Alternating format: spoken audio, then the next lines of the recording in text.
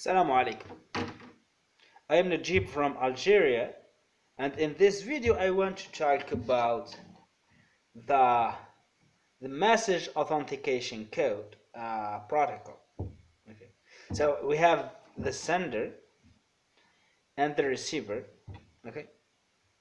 So this sender want to send this message without uh, so we use the MAC algorithm to prevent anyone to forge the message before it received to the receiver.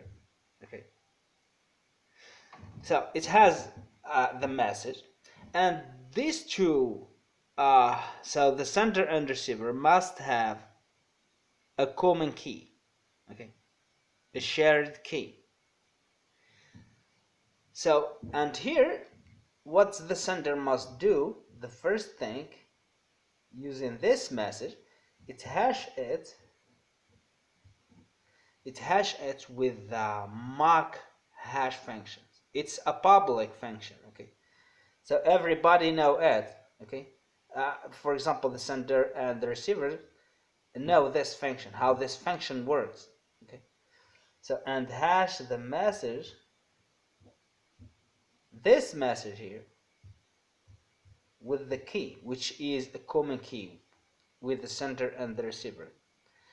That, this generates a tag. So now we have a message and a tag. Now the, the sender just sent the message and the tag and the tag. So when the receiver receives these two, the message and the tag, so the, the, the receiver, so we said that this is a, a common key and this is a public uh, hash function, the MAC function, hash function. So just hash. So this message that it receives from, uh, from the sender. So this message here.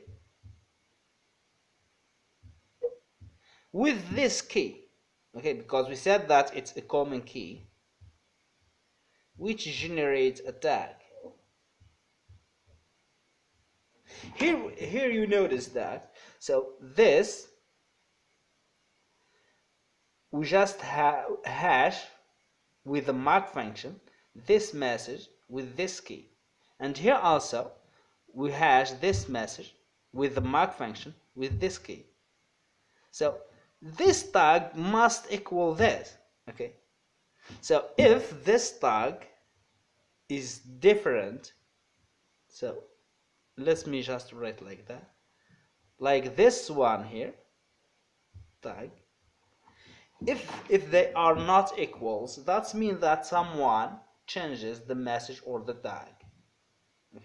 If they are equals and that's the normal case that means that no one changes the message or the tag. And notice that here in this algorithm, so we don't care if someone see the message, the content.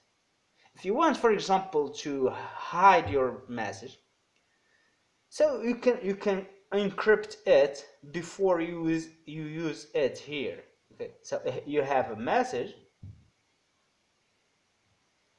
encrypt it and put it here and continue the same algorithm. And then here when the, the receiver uh, check that no one forged the message just encrypt it to get this message the original message. Okay. So that's it. I hope that you're subscribing in my channel and i hope that you like this video. See you later